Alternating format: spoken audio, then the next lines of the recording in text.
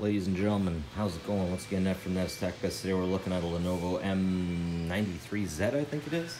Let's have a look at the tag. Today we're going to be upgrading it to Windows 10. We got a solid state hard drive in there, and we are going to see how well this thing does uh, based on the others. M93Z, yeah. So, interesting. The thing I always loved about this, we get the video in and out. USB 3.0, very good stuff. It's just too bad that we don't have better processor, i5. We got an i5 Pro, not just regular stuff. Oh wait, yeah, V Pro, i5 V Pro, SSD, 4 gigs of RAM. Let's see how it measures. All right, we're not doing so bad on the flight. So this thing, you guys will go around as fast as they possibly could.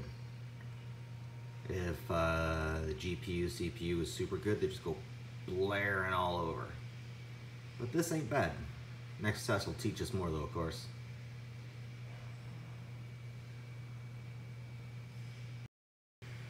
All right, here we have the 3D. I've seen worse, not much, but I've seen worse.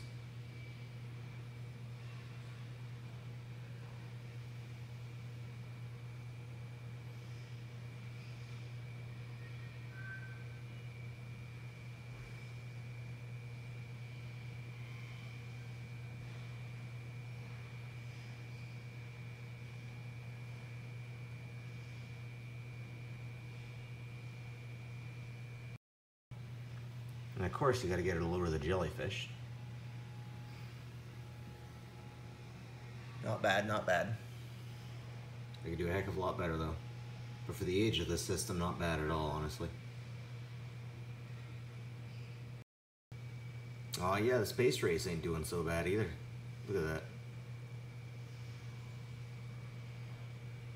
Not bad at all, actually. Not bad at all. Oh man, I gotta say, that's not bad at all. 2819. Let's get a bit further into that. Wrong mouse, wrong mouse. So yeah, all things considered, geez, not bad at all. Not bad. That is the M93Z.